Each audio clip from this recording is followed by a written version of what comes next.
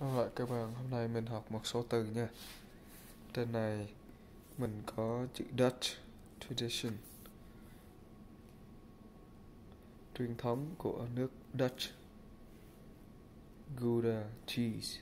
Cheese là phô mai nè. Rồi ở dưới này có cái chữ past, pasteurized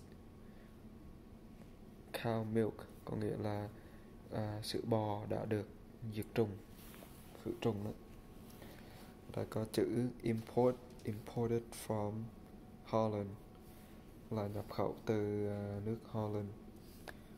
À, uh, đây ghi là keep refrigerated.